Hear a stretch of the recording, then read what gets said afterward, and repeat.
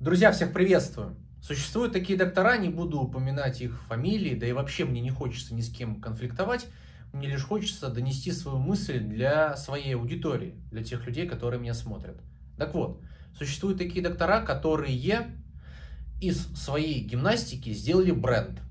Моя гипотеза, да, и мое мнение заключается в том, что если из чего-то делать бренд, то человек теряет свою объективность. Так вот, различные гимнастики и различные методики не показаны всем людям поголовно. Все мы с вами индивидуальны. Да, у нас одна голова, да, у нас пара рук и пара ног, но в целом все мы индивидуальны. И даже одна и та же таблеточка глицина будет действовать на меня и на моего товарища, к примеру, абсолютно по-разному. Почему я против того, что весь интернет усеян гимнастиками для шейного отдела позвоночника, для поясничного отдела позвоночника, для грудного.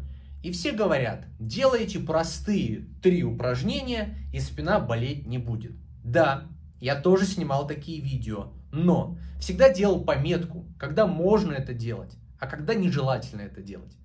Давайте с вами разберемся, когда не нужно делать упражнения, например, на шейный отдел позвоночника. Или почему не всем эти упражнения подходят. Ну, кто у нас делает упражнения? Вот просыпается по утру и говорит, буду делать упражнения. Скорее всего, это люди старше 40 лет. 40, 50 и старше. Они действительно по утру делают какую-то зарядку. К этому возрасту у людей уже есть структурные изменения в шейном отделе позвоночника.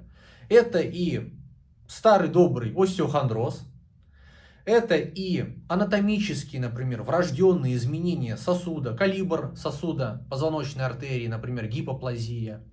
А, либо есть нестабильность шейного отдела позвоночника, либо есть э, грыжевые выпячивания, либо есть протрузии, болевые синдромы, воспалительные процессы. И вот при этих состояниях делать динамические упражнения на этот отдел позвоночника, на шейный, это катастрофа. Был пациент у меня, ему там 40 плюс лет. У него МРТ было сделано перед приемом у меня. До этого он МРТ не делал, но у невролога был. И невролог ему сказал, делайте постоянно гимнастику по такому-то вот автору. Ну, мы с вами понимаем, о ком идет речь. И человек делает и делает, делает и делает. Он мне говорит, доктор, я и так, я и сяк, и по кругу кручу, а у меня болит, болит и болит. И у меня продолжает болеть. Смотрим МРТ. Спондилит. То есть воспалительный процесс, который постоянно поддерживается за счет вот этих вот динамических упражнений на шейный отдел позвоночника. Простыми словами, это гимнастика, которая находится в свободном доступе в интернете, привела его к тому, что воспалительный процесс постоянно поддерживается на должном уровне и дает болевую симптоматику со спазмом мышц шеи, э, с головной болью и так далее.